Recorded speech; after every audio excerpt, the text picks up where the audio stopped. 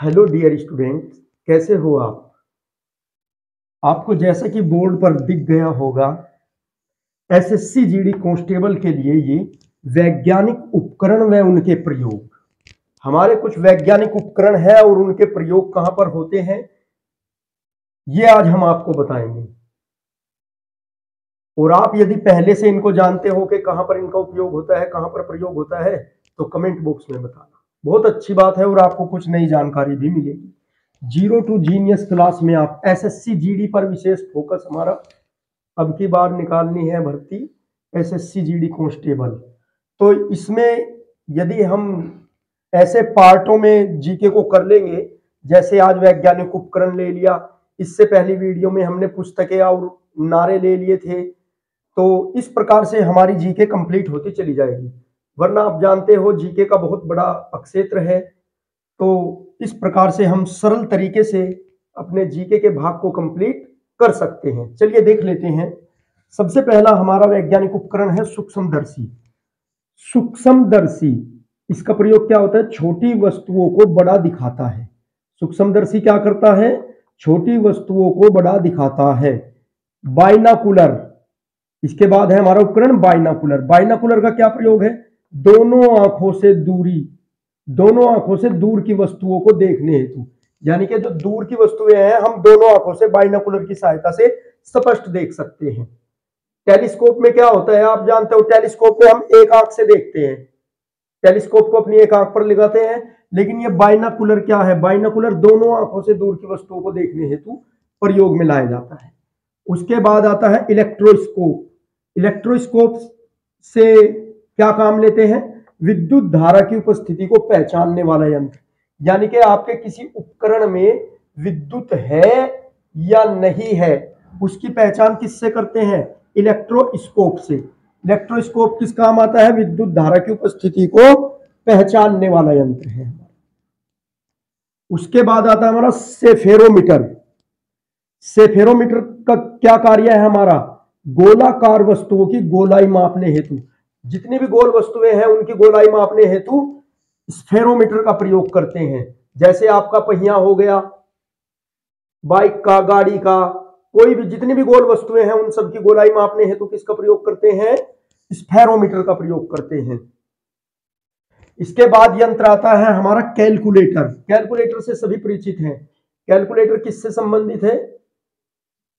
गणना करने हेतु। जोड़ना घटाना गुना भाग, प्रतिशत निकालना सब काम किससे कर देते हैं हम? कैलकुलेटर से। कैलकुलेटर किस काम आता है? गणना करने हेतु। उसके बाद आता है दूरदर्शी। दूरदर्शी, दूर की वस्तुओं को देखने हेतु। दूर की वस्तुओं को दूरदर्शी की सहायता से आसानी से देख सकते हैं। उसके बाद आता है रेडिएटर।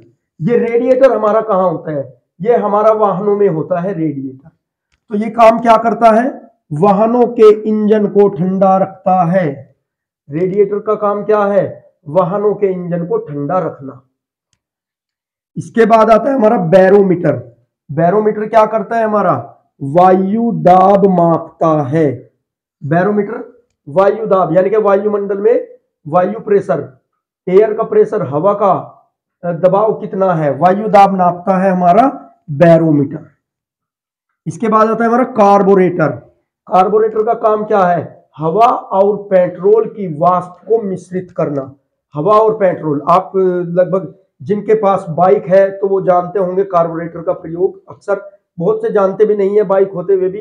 तो इसमें क्या होता है? जैसे ही पेट्रोल टंकी में से पाइप के माध्यम से हमारे कार्बोरेटर में आता है तो हवा का मिश्रण और उस पेट्रोल के मिश्रण से जो वाष्प बनती है, उसको ये मिश्रित कर देता है और हमारी वाहन को ईंधन मिल जाता है आगे गति करने के लिए। इंजन के और कंपोनेंट को मूव करने के लिए। तो कार्बोरेटर का काम क्या है? हवा व पेट्रोल की वाष्प मिश्रित करता है। पैरासूट पैरासूट आपने देखा होगा अक्सर।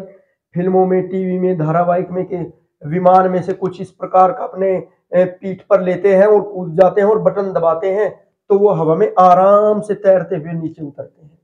तो पैरासूट होता है, वो पैरासूट का काम क्या होता है? वायुयान में से कूदने हेतु। इमरजेंसी में कूदने हेतु पैरासूट का प्रयोग किया जाता है। इसके बाद आता है हमारा पेरिस्कोप। पेरिस्कोप का क्या कार्य है? किसी बाधा के पार देख सकते हैं। इससे पेरिस्कोप के माध्यम से किसी बाधा के पार देख सकते हैं। इसके बाद आता है हमारा रडार। रडार का क्या प्रयोग है? विमान की दिशा व दूरी बताता है। ये रडार हमारा क्या काम करता है? विमान की दिशा बताएगा और दूरी बताएगा। ठीक है? कि विमान किस दिशा में है, गलत दिशा में तो नहीं है, कितनी दूरी है, यहाँ से। तो वो सब रडार का काम होता है बताने इसके बाद आता है टेली प्रिंटर टेली प्रिंटर क्या होता है? ये हमारा टेली प्रिंटर दूर की सूचनाओं को अपने आप छापता है। दूर की सूचनाएँ, यानी कि जो आपके उपग्रहों से सैटेलाइट से सूचना आती है तो उनको ये छाप देता है, अपने आप स्वयं छापता है। विस्कोमीटर, ये विस्को, विस्कोमीटर क्या है? तरलता मापक यंत्र। यानी कि कोई पदार्थ कितना तरल है, कितना लिक्विड फॉर्म में है, उसको मापता है विस्कोमीटर। इसके बाद आता है रेन गेज। रेन गेज किस काम आता है हमारे वर्षा मापक यंत्र। जैसे आपने देखा होगा, मौसम विभाग वाले कह देते हैं कि वहाँ पर इतने सेंटीमीटर वर्षा होने की संभावना है। असम में इतने सेंटीमीटर वर्षा होने की संभावना है। उस स्थान पर इतने सेंटीमीटर की स्थाप संभावना है वर्षा होने की। तो जो सेंटीमीटर में मापते हैं वर्षा को, वो रेन गेज की ही सहायता से मापते हैं। चलिए देख लेते हैं आगे। ट्रांसफार्मर। ट्रांसफार्मर का क्या कार्य है? किस काम में लेते हैं हम इसे? विद्युत की मात्रा को नियंत्रित करता है। कौन? ट्रांसफार्मर।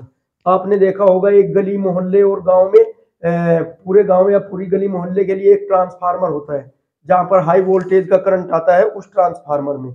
और उस ट्रांसफार्मर के माध्यम से उसको विद्युत की मात्रा को नियंत्रित करके वो सामान्य जनों के घरों तक विद्युत को पहुंचाता है। यदि डायरेक्ट हमारा जो हाई वोल्टेज का करंट है हमारे घरों तक आ गया तो हमारे कंपोनेंट हमारे उपकरण क्या होंगे?